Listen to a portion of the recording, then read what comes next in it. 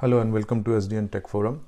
In this video, I'm going to show you a very cool feature uh, which is available with Cisco switches, especially Cat9K switches, starting release 16.12, uh, 16.12, um, which is how you can manage your Cisco devices or Cisco switches using web interface. The web interface is really not a new feature within Cisco, but it was not that mature. But now with 16.12 and Cat9K new chip, uh, new chips and advanced uh, memory, you can see that how easy and how exciting it is to manage your switch uh, uh switches using the web interface. So how you can access the web interface is let's log into the switch CLI and enable HTTPS to access the web to get the web prompt.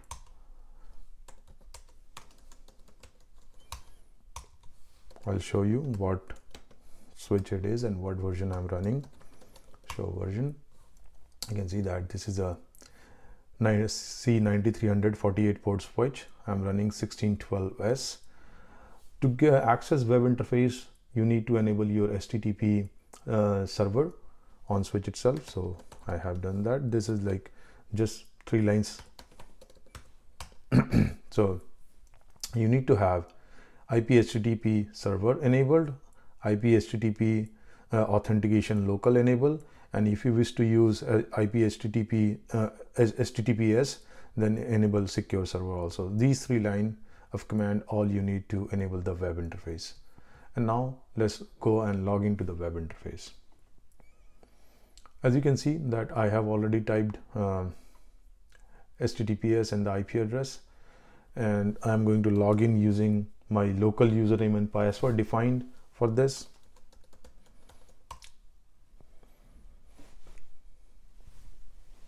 And here it pulls out my switch, the web UI for my switch. And if you have seen my previous uh, previous video of uh, 9800, the UI looks more or less uh, same because 9800 uh, was again running on a, a 9300 switch itself. That is why there is similarity between the UI so when you log in to your web UI the first thing what you are uh, uh, by default you get uh, plays into the dashboard. So in dashboard you can see it gives you a very high level overview of what is going uh, inside your switch so you can see your CPU and memory graph. Uh, you can see what what is the temperature right now uh, in the closet where the switch is sitting and then system information. So you can see the host name how how long the device is up what is the current device time device type uh, how, how it is booted and if the FIPS uh, is enabled or not. And also it gives you the last reload reason.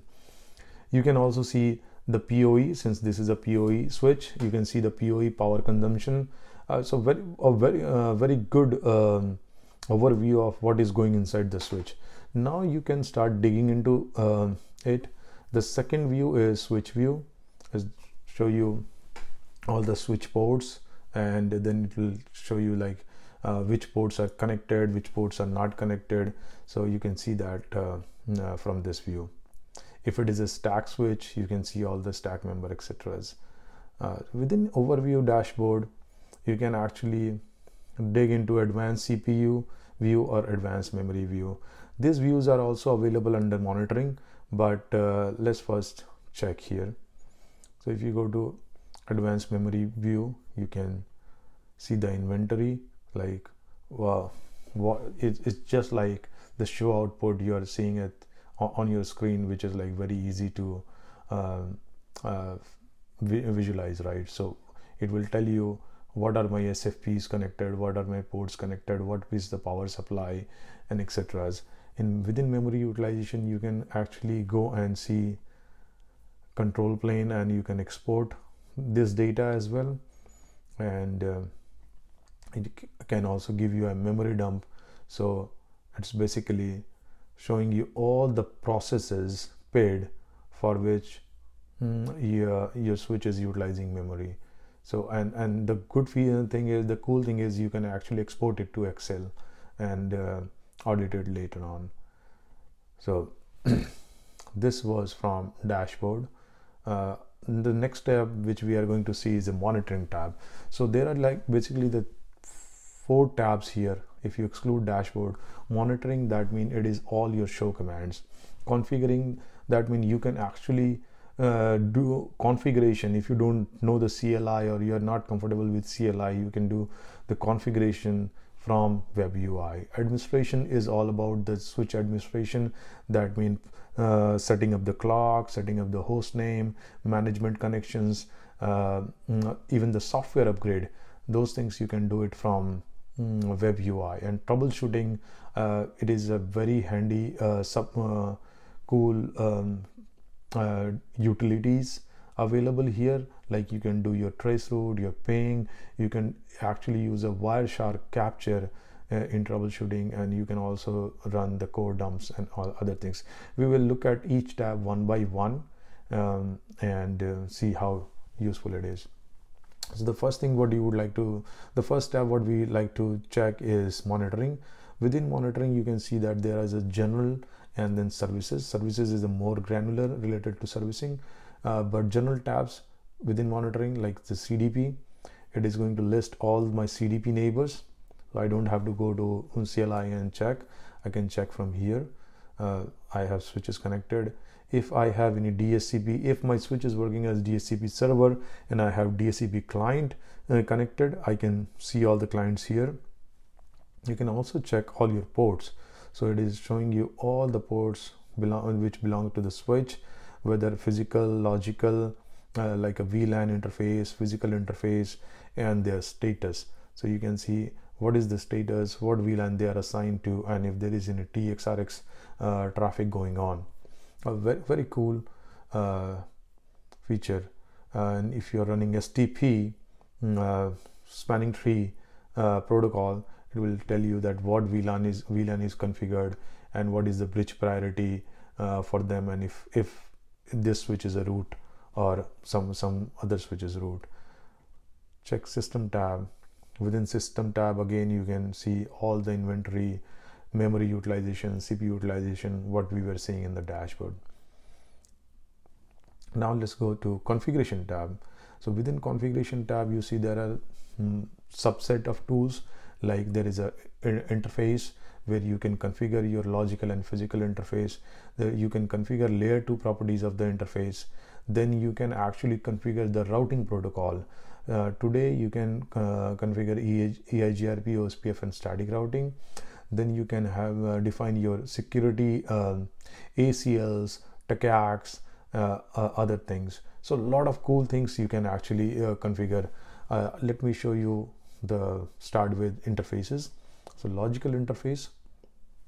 If you come here you can see that you can actually uh, I have loopback 0 defined. If I want to add another loopback or something I can add my loopback addresses here.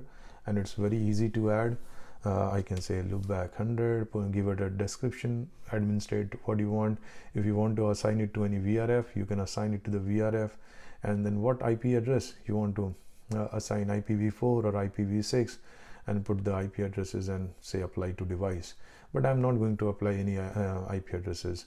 Another type of logical interface is your port channel. So you can add your port channel interfaces um, and then you can actually select the port numbers that what kind of uh, which uh, physical port should be part of this logical port channel. And then you can say which VLAN you want to allow. So everything you can do via UI the next thing is uh, layer 2 so if you want to define any SVIs uh, you can add SVI if you want to define any VLANs you can add VLANs uh, and then assign port to those VLANs so it's, it's it makes things very very simple for anybody to um, configure. Uh, let's come back to routing protocol. So if you want to configure uh, routing let's select EIGRP you can always say add and then it will tell you that this is so choose the advanced because advanced is more close to uh, all the it will present all the parameters so you can uh, define your virtual ins uh, instance address family. If it is a vrf or it is a unicast unicast that means global uh, put a router id what network you want to define. Do you want to enable split horizon? What interfaces you want to use variance and all those things. And one cool thing is look enable best practices. So it it doesn't only configure but it gives you the suggestion that uh, you should enable these best practices when you configure certain routing protocols. So that's really really powerful and cool feature in my opinion. And if you have some any concern regarding these parameters you don't understand what are they then uh, you can always come back to help. This will pull out the UI help and you can go to that section configure EIGRP and then it's going to tell you explain everything like what is the virtual instance? What you should enter there? What should be the outgoing interface? What does it mean to select stub and all those things?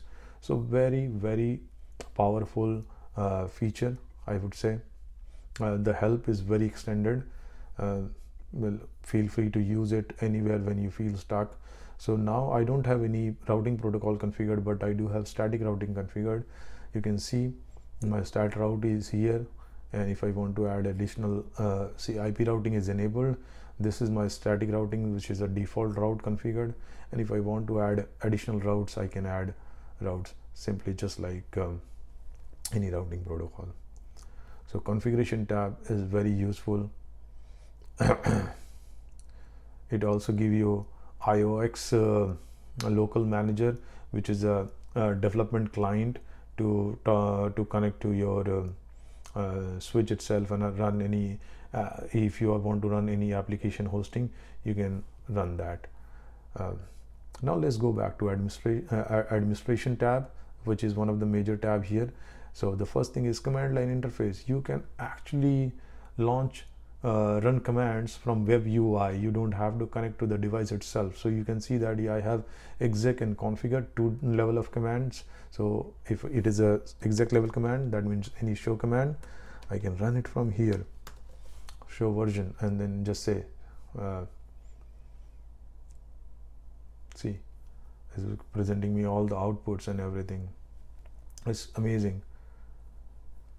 You can clear it if you want to run again show var uh, run command. You can actually copy it or if it is a multiple commands you can simply export them. So it will be downloaded to your local machine. Really uh, cool feature. Device you can set device administration like um, the management connection.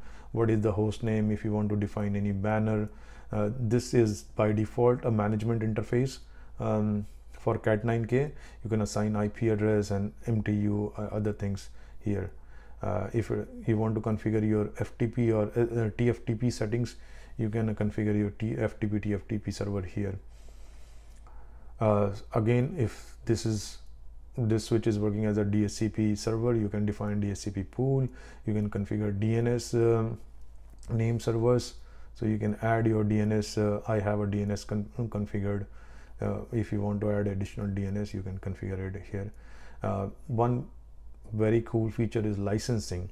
So now you know that Cisco moved to smart licensing model uh, starting 1610 release. And that means you need to register your devices to a smart account and from there you can consume the licenses. So and that that is done via register with C, C, CSSM and this is the real power of web UI. If you want to do a CSSM configuration within uh, CLI, you will feel uh, that it's really complicated or it needs advanced level of CLI knowledge. But look how simple it is here. So I right now it is showing my licensing status that I have smart licensing enabled, but it is not registered because it is not registered with CSSM. Uh, mostly because I don't have uh, internet connectivity right now. But if I have internet connectivity and I configure it, uh, all you have to do is like select whether you have direct internet or you have a mm, smart satellite. That is a air gap solution. Uh, and then uh, define your DNS and everything go to next and provide your uh, uh, and it will try to register to the CSSM so it's, it's very easy and very automated uh, it, it makes this complex licensing thing very simple and easy to use. So i really like this uh, licensing feature. Next is backup and restore. So this is part of management. If you want to do any file management like if you want to copy configurations uh, transfer mode tftp or, or you can actually use http that means you can back up the configuration Uh, uh, directly to mm, your your file. And if you want to uh, say i want to configure copy from device configuration file I want a startup config I want to download it to my local machine I don't have any I don't need any TFTP connection or anything. I can simply use HTTP and download the startup config locally to my file. And in the same way if I want to copy any device to uh, copy any file to the device I can also use that uh, using HTTP or uh, TFTP uh, any protocol. But i really like this http option here because it cut down on uh, you having a mm, ftp or tftp server running uh, so it's really quick. Another way is file manager. It's gonna show you what is your storage. I have a, um, a flash store here. You can see what is running in the store. Flash all my flash files. And if you want to upload anything to the flash I can simply select and upload it on, in the flash.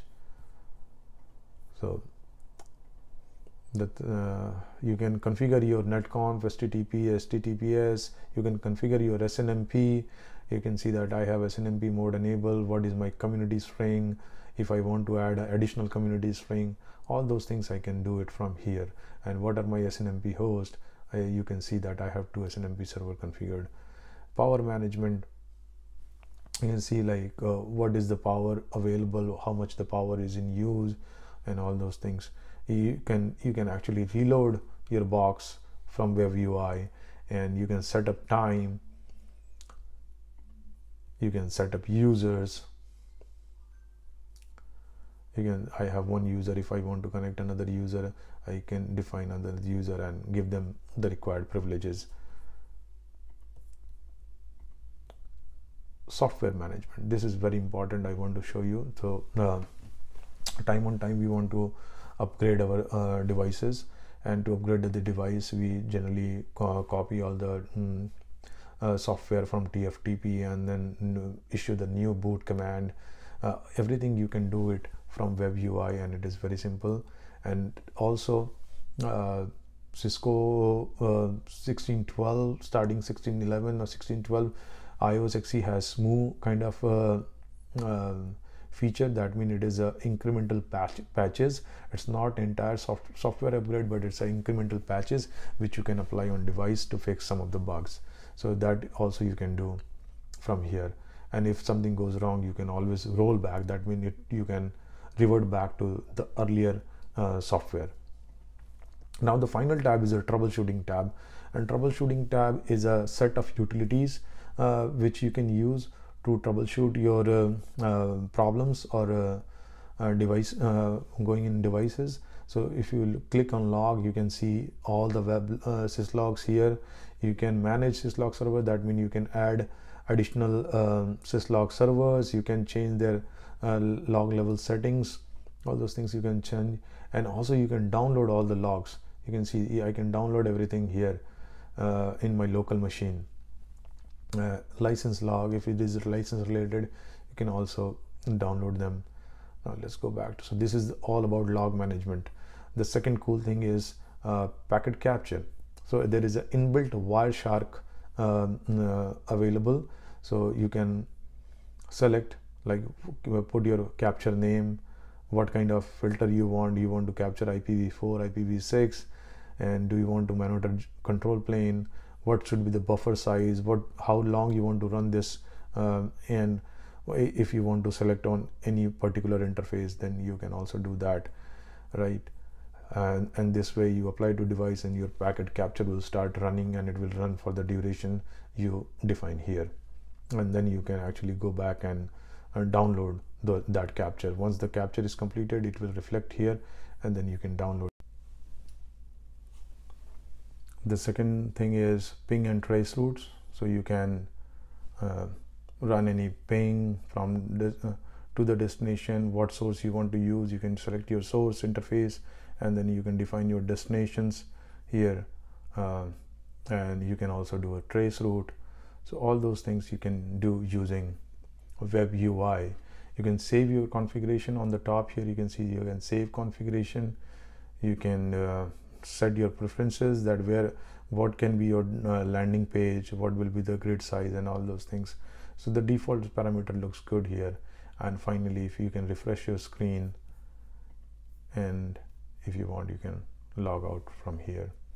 So clicking on log out so i believe you really enjoyed this session and uh, this is very um, cool and powerful feature and the sdm has uh, came up a long way from a fragile web UI to a full-fledged web UI and I encourage everyone to try try it out and you know, familiarize yourself with um, um, Cisco, uh, Cisco 6 Web UI and use it more and more. Thank you. I hope you enjoyed the video. Thank you very much. Thanks for watching.